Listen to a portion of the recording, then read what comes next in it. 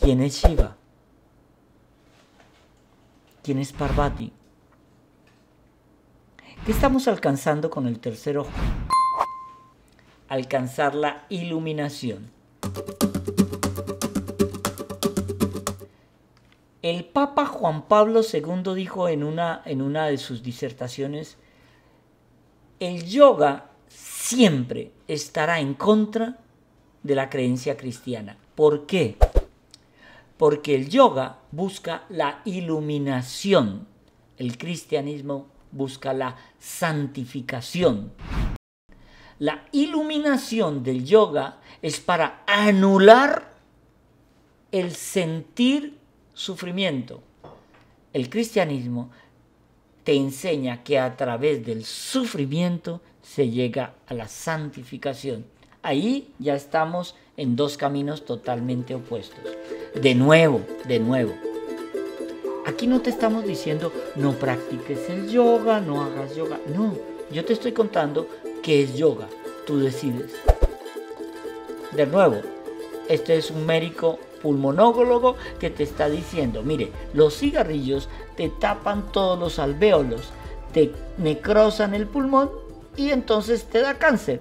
Tú decides si quieres fumar. ¿Ok?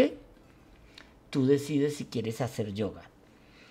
Los ejercicios respiratorios del yoga no te dicen, como dicen, oh, relájate y lleva oxígeno a tus pulmones. No aspira la energía para que llegue a tus chakras. Hello, aquí hay una campanita que suena.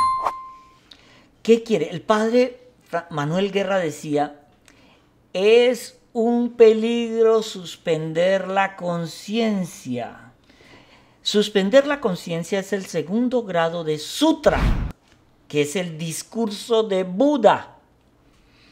El yoga consiste en impedir que la conciencia tome formas diversas. Es la cesación de la actividad mental. En otras palabras, puesto desde nuestro pensamiento, es yo anulo totalmente mi voluntad para que sea un ente externo quien maneje mi voluntad. Oh, oh que vuelve a sonar la campanita. El padre Alfonso Uribe dice, el yoga es válido para el hindú, pero para el cristiano lo aparta de Jesús. A ver si entendemos esto. Es una introducción religiosa ajena al cristianismo. Y de nuevo volvemos a la pregunta. ¿El yoga es una unión ¿Con qué?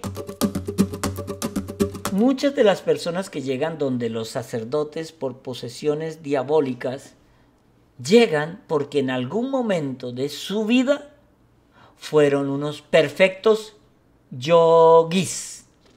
Anularon su conciencia para que fuera otra entidad quien manejara su conciencia. ¿Esto le suena de algo? Bueno, sigamos. ¿Qué es lo que quiere el Señor aquí? ¿Que nos preparemos nosotros para eso? No. Mire esto. Cada una de las posiciones del yoga es una posición de adoración a una deidad del hinduismo. Ah, yo no lo sabía. El que idiotamente peca, idiotamente se condena. El no saber no quiere decir que no sea. Esto me recuerda a, ese chiste del mexicano que una vez ve a un español cruzando la plaza del Zócalo en México y lo levanta a golpes, lo revienta, le da patadas en la boca y el español le pregunta, pero ¿qué pasa? ¿Por qué me hace esto? Es que ustedes los españoles violaron nuestras mujeres, se robaron nuestras riquezas. Pero eso fue hace 500 años. Pero es que yo me enteré ayer.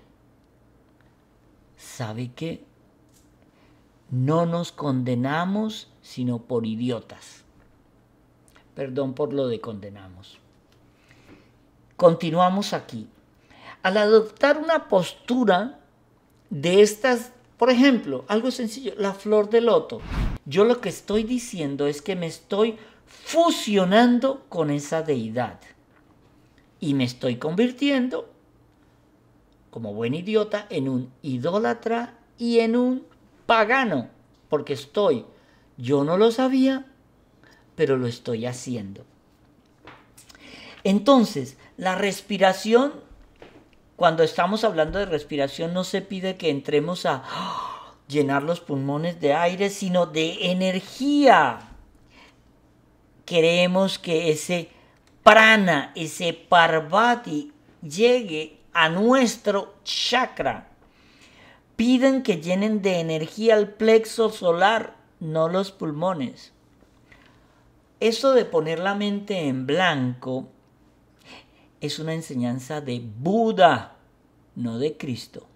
El Señor lo que quiere es que despertemos en la luz de Cristo, no que anulemos nuestra inteligencia. Recordemos siempre que no se puede creer solamente con, si yo no tengo la fe y la razón para creer en Dios, no estoy por el camino correcto. Fe sola es fanatismo, razón pura es materialismo. Y el Señor quiere que lleguemos a la fe, pero utilizando nuestra inteligencia.